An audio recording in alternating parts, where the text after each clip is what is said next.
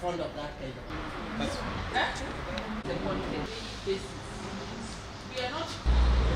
I had taken home science, but now you see to the scale of the, the, the, the net pro- formula. It is a place where they need to be advised. We have this training here for teachers from various schools in uh, Nairobi and beyond, and basically for CBC competency-based curriculum. And the essence of this training is to equip teachers with skills and competencies for effective facilitation of competence-based curriculum. It is the bone of contention at the moment. Uh, you can see how the president, the current president, has moved in fully to ensure that this is effectively implemented. If we focused on placing our capitation in education sector in a correct way, the way I look at what the president is doing today, and beginning to think widely about how to invest more in education. And he's already announced the, I mean, the employment of 30,000 teachers. This is the first time I've ever had such a huge number. And if we go on with proper investment or in education, then we'll not have the inadequacies we have at the moment.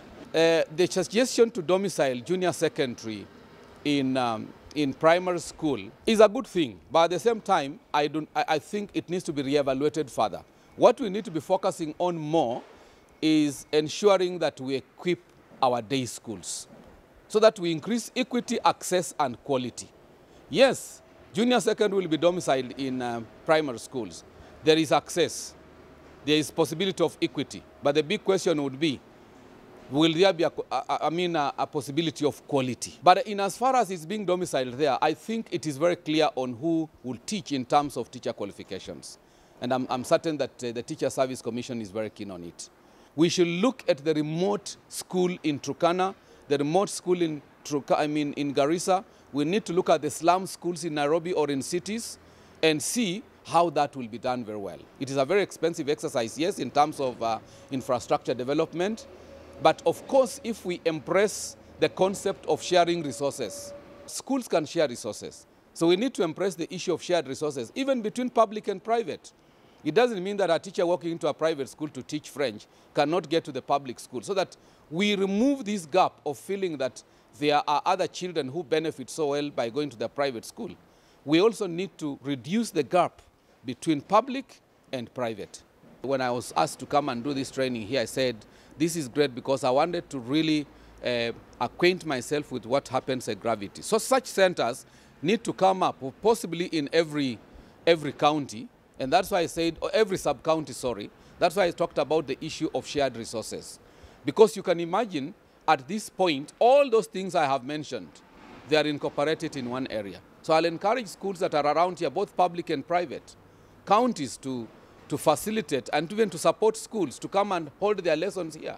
Because that is one of the ways that we are going to bridge the gap between uh, the resources, the scarce resources available and the numbers of students required to use these resources. To the teachers who are outside there, I can say there's a, an opportunity uh, for you to prepare yourself.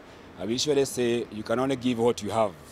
So it is a new uh, upgrade of the, of the system from grade six, and it has not been there.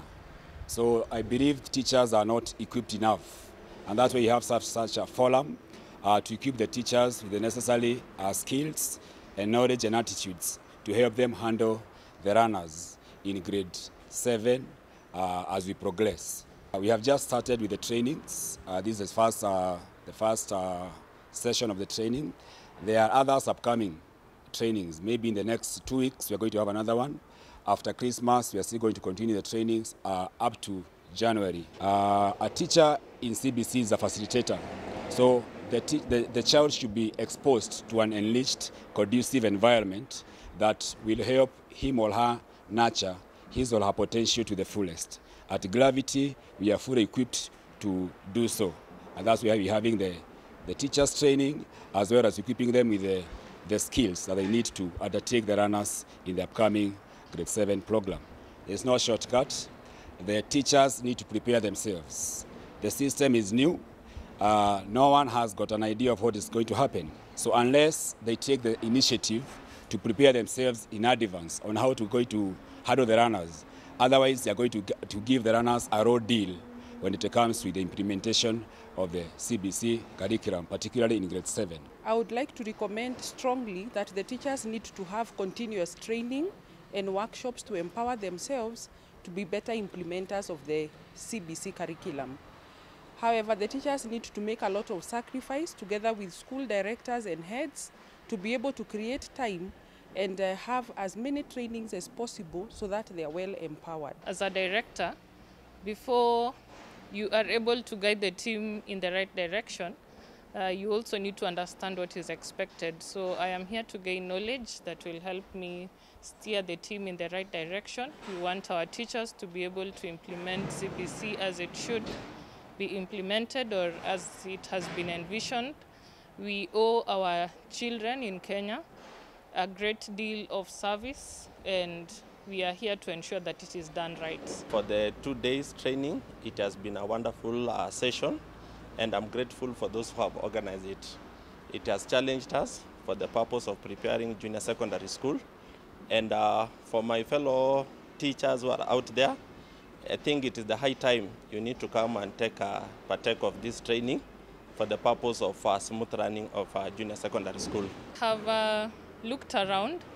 I have liked that they have um, physical demonstrations or models of, of various things, and um, they have practical.